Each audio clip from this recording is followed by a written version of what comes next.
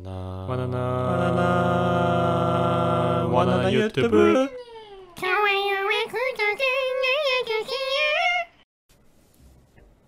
아니 어제 씨발 내가 기분이 너무 나빴어요. 예, 유튜브가 꼬여가지고 멘탈 좀 나가고 그 다음에 또 어제 너무 뭔가 burn 아웃 나와가지고 이게 생활 패턴이 꼬이는 게 무서운 게 어제는 7시? 지금 그냥 일찍 잤어. 평소 9시 10시에 잤으니까. 그러면은 한두 시에 일어나도 꽤나 이득이란 말이지. 근데 씨바 개푹 자가지고 눈뜨니까 5시인가 6시인가인 거야. 그러니까 또 씨바 또 꼬인 거지. 푹 잤는데 기분이 하나도 좋지 않아. 그래서 휴방하고 다음날 그래! 결심했어!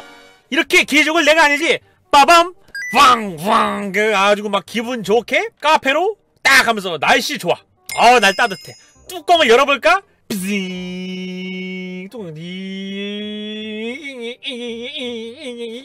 이 뭐지? 레바요? 딱 보니까 아니 씨바 페라리에 도치 생겼어 아니 씨바 바람 타는 서퍼도 아니고 배 항해도 아니고 갑자기 그래서 주변에 차를 딱 댄 다음에 확인해봤어 창문도 안 움직여 다시 닫으려고 했는데 닫히지도 않아 그대로 고정이 돼버린겨 천안 한가운데 페라리라는 해적선이 생겼다고 놀라가지고 보니께 뭔가 딱 봐도 불안하게 생긴 경고등 저 보여요?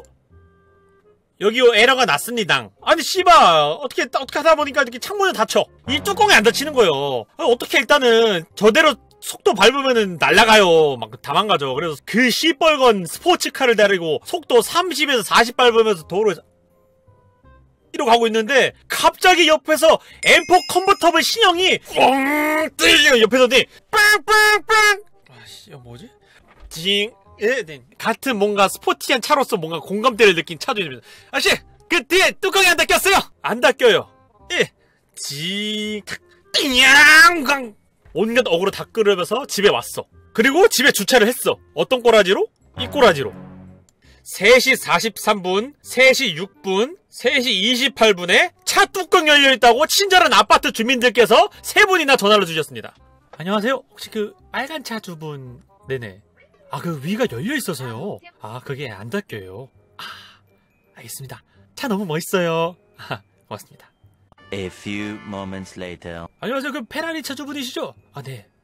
아, 그 오픈되어 있는데 그대로 열려 있어요. 아, 그게 고장이 났어요. 아, 그렇구나. 차 멋집니다. 아, 고맙습니다. 정비소에 가서 물어보니까 이거는 정식 센터로 가셔야 될 것 같아. 아, 그래요. 그래서 저렇게 방치해 놨어. 그 딜러분이랑 막 이렇게 얘기를 하는데 이거는 센터를 보내야 된다. 근데 거기까지 운전을 못 하잖아요. 그래서 캐리어를 불러야 된다. 캐리어면은 그래도 한 40만 원 나올 것 같은데? 했는데 이게 존나 어이가 없는 게 이제 보통 어부바 차라 하면요 이런 식이에요. 막 이제 트럭 앞 머리가 이렇게 있고 그래서 요렇게 생긴 거에다가 여기 이렇게 내려서 이제 페라리를 이렇게 태우는 거예요. 이렇게 태우면서 이렇게 해가지고 이렇게 올리는 거예요. 이제 레카라고 하죠. 이거 어부바 차라고 해요. 뽕 이렇게 태워. 얘가 이제 막잉 가는 거야. 근데 내가 말했죠. 얘가 지금 단점이 뭐예요? 뚜껑이 열려있다. 돛이 달려있다. 그럼 이 트럭도 속도 50km 이상이면 뚜껑 안녕? 어. 그럼 무슨 차를 불러야 되냐? 그 존나 고급스러운 거 뭔, 아세요, 여러분? 존나 롤스로이스 새 차 살 때나 나오는 그 존나 그 유리 깨쩌는 거. 박스 어부바 차를 불러야 돼요. 이 차는 50만원. 왜 50만원이 드냐? 페라리는 정식 센터가 서울, 부산 두 군데인데 부산을 갈 수는 없고 서울을 가야 되는데 서울까지 천안에서 약 90km. 그래서 이 박스 차가 거기까지 가는 비용 50만원. 돌아올 때는 고쳐진다 하더라도 일반 어부바차 하면은 그것도 한 3, 40만원. 거의 돈 100만원이 나가리.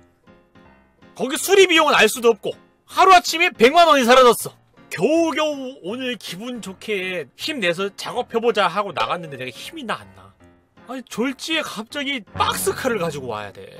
심지어 오늘은 일요일 센터가 열지도 않아요. 차를 보낸다 한들 검사도 못하고 할 수 있을지도 모르겠어. 근데 이걸 관련해서 슈퍼카에 대해서 지식이 있는 분들한테 전화 얘기를 해봐야 될 거 아니야. 난 지인분한테 얘기를 했더니 아니 혜영아 나 근데 페라리 센터는 전화하는 거는 24시 받을 걸 전화나 한번 해봐라. 전화를 하니까 네, 안녕하세요. 그 페라리 탑에 문제가 생겨서 전화드렸는데요. 고객 어떤 문제가 있으신 건가요?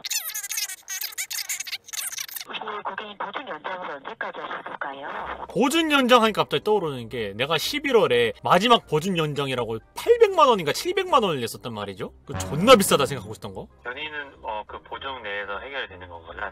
이때 이게 엄청 중요한 질문이었어. 저희가 견인 무상으로 진행 도와줄 수가 있습니다.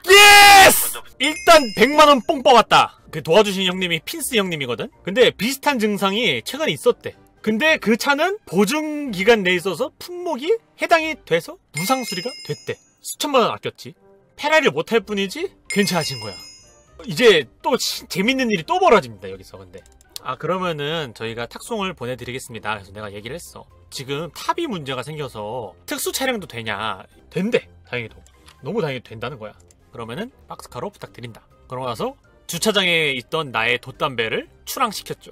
돛을 올려라! 이미 올라가 있지만! 그거 걱정했어. 박스카에 또 안 들어갈 정도면 어떡하지? 막 이러면서 걱정하면서 내려가고 있는데 앞에 이제 레카 기사님께서 여기입니다! 여기입니다! 했다고 왔는데 어부바차에 지붕이 없어. 벽도 없어. 걍 어부바차야. 내 박스! 아니 내가 씨발 박스카 달랬지? 이 씨발 내 저기 탑 날릴 일 있어? 어 기사님 저희 탑 보시면 아시다시피 탑이 이렇게 오픈이 돼 있어가지고 하는데 이거 이러- 이대로 오게 되나? 어이 이거 이러 이대로 가면 안 되죠. 아니 근데 왜 오셨나요? 어 오래서 왔는데? 아니 증상이 어떠신데요? 아니 이 top이 안 닫혀요. 이게 top이 이게 열렸다가 닫혔다 이거 누르면은 이렇게 뭐 창문도 왔다 갔다 하고 해야 되는데 이렇게 눌러도 이 소리 이게 안 닫히는 징 갑자기 닫혀. 아니 아까 시동을 한 네 번인가 껐다 켰다 하면서 해봤는데 안 됐는데? 어 잠깐 다시 열어볼게요. 징 드드드드드드득득 아 씨발 이거 안 열려요. 징아 닫힌다 닫히는 건 돼요. 이거 오버 가셔. 실려가는 차를 이렇게 보고 있었어. 뭔가 기분이 들어졌다가 놔졌다가 아 이게 기분이 좋아야 되는 건가 말아야 되는 건가 이게 이러고 갔는데 갑자기 옆에서 누가 페라리 차주 분이십니까? 아 예. 그렇다면 혹시 유튜브를 하십니까? 어 예. 그럼 혹시 와나나님이십니까? 어 예. 와 너무 신기하다. 사진 한 장만 찍어도 될까요? 두 시간 뒤 페라리 하우스에 잘 도착했다고 합니다.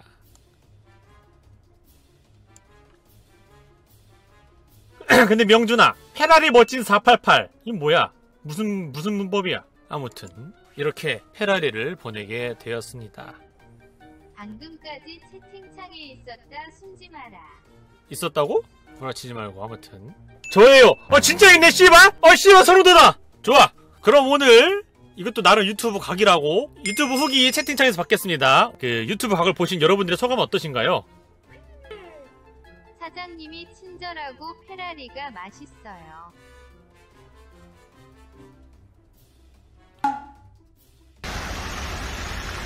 와 빨리 난다잉.